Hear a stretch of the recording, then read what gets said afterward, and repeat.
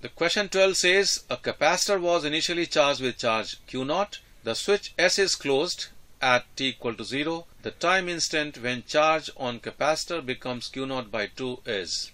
Well, essentially we can say that this circuit is electrical analog of damped oscillation, right? Of damped mechanical oscillation. Now, the differential equation for a damped mechanical equation is something like this m d2x by dt square because we can use the result for damped oscillation by having a proper analogy. So the differential equation for the damped oscillation is m d2x by dt square plus b dx by dt plus kx is 0. This is the differential equation for damped oscillation, right? Now in this particular case, suppose the switch has been closed and let's say current here is I. So we need to apply the Kirchhoff's law, in fact Kirchhoff's loop law.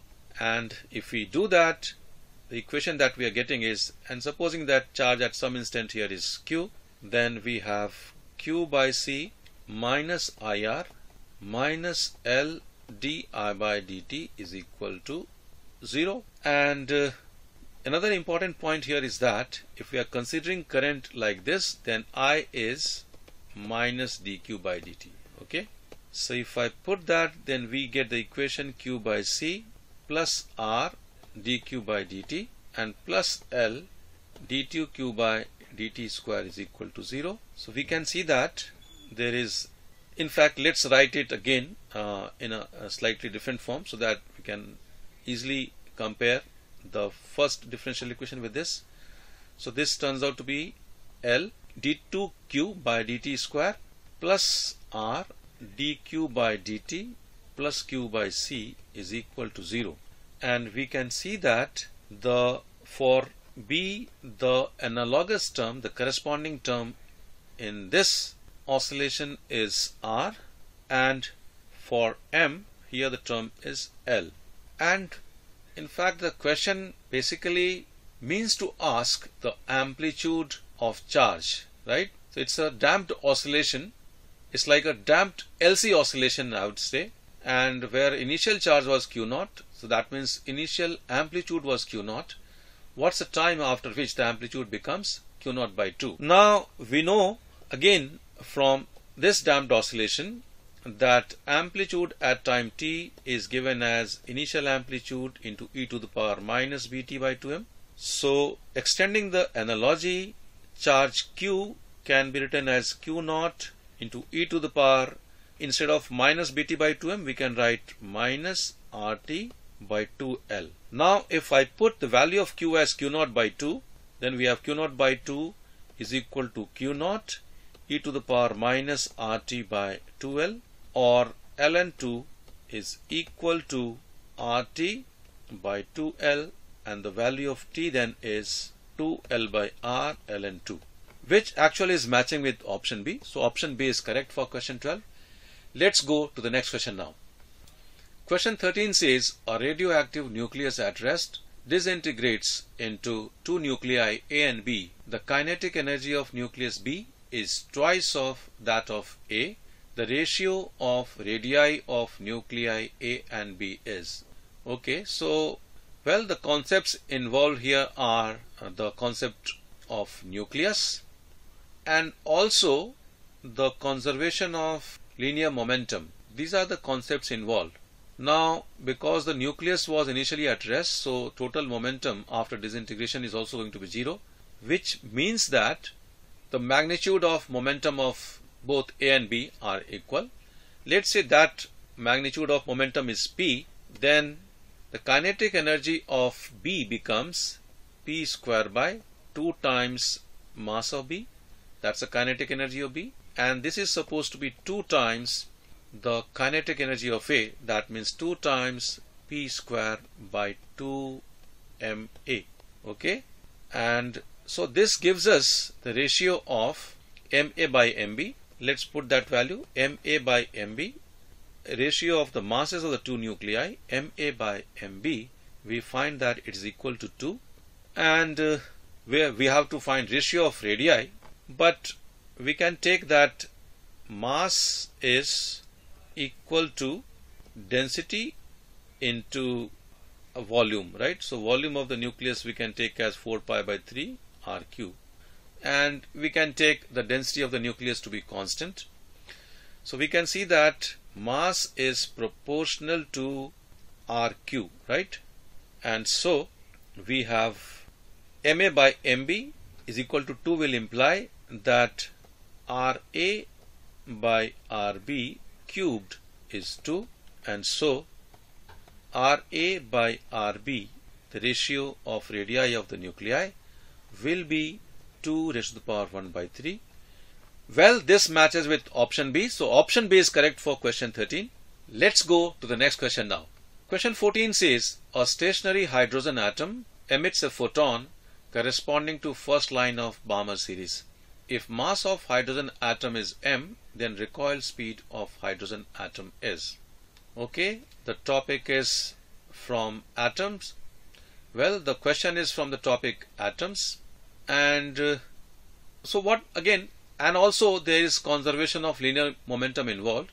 So in magnitude, the momentum of the hydrogen atom after the emission of photon will be same as the magnitude of momentum of the photon.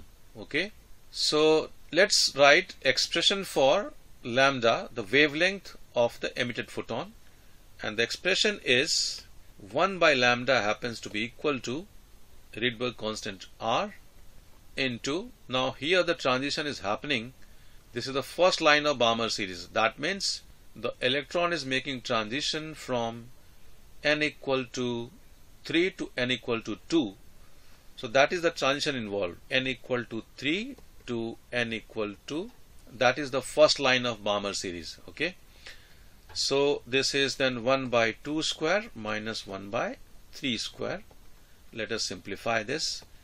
This is r and then we have 4 and 9 so denominator let's put 36 and in the numerator it is 9 minus 4 so it's 5 so 1 by lambda we are getting is equal to 5 r by 36 and so the momentum of photon P which is h by lambda is simply 5rh by 36 and that is equal to mass of the atom m into the recoil speed v. So the value of v is coming out to be 5rh divided by 36m and if we look at the options it is matching with option D. So option D is correct for question 14 Let's go to the next question now. Question 15 says an equiconvex lens mu equal to 1.5 has focal length 20 centimeter in here is placed as shown. The new focal length of the system is. Well, clearly the question is from the topic uh, refraction, ray optics, and uh, we can apply the lens maker's formula and also the concept of refraction at spherical surfaces. Let's first find the radius of the surfaces of the equiconvex lens. And for that we use the lens maker's formula. So in air the focal length is 20 centimeters. So we have equation 1 by 20 so the equation is 1 by f is equal to mu minus 1 into 1 minus r1 well the equation is 1 by f is equal to mu minus 1 into 1 by r1 minus 1 by r2 so mu minus 1 here is 1.5 minus 1 or 0.5 or 1 by 2 and it is 1 by r minus minus 1 by r so it's plus 1 by r again. So that means on the right hand side we have 1 by r. So we are getting the value of r as 20 centimeter. So each surface has radius 20 centimeter. Now on the left there is still mu is 1 but on the right of the lens, there's a medium of refractive index 4. So to find the new focal length, let's apply the concept of refraction at spherical surfaces at both the surfaces. We can consider that the ray is coming from infinity and uh, the final value of V after two refractions will give us the value of focal length. Okay. So for the first refraction, the equation is 1.5 by v1 we can call because this is not the final image position this is the intermediate image position so we are calling it v1 instead of calling it v so 1.5 by v1 the formula is mu2 by v minus mu1 by u is equal to mu2 minus mu1 by r. So well first term we have written the second term is mu1 by u. So this term will be 0 because u is minus infinity. So we can simply put 0 here. And on the right hand side is mu2 minus mu1 which is 1.5 minus 1 which is 0.5 or 1 by 2 and the value of r we already have is uh, 20 centimeter. So this is one equation. And for the second refraction we have mu2 as 4 so 4 and the final value is f now. So 4 by f minus 1.5 by v1 is equal to mu2 minus mu1 that means 4 minus 1.5 which is 2.5 divided by r now is going to be minus 20 centimeter right? So minus 20 now if I add these two equations just to eliminate v1 we get 4 by f is equal to 1 by 40 minus 5 by 40 because 2.5 is 5 by 2 and this is minus 4 by 40 well the value of f comes out to be minus 40 centimeter. And so focal length of the new system we can take as 40 centimeter. So option B is correct. Let's go to the next question now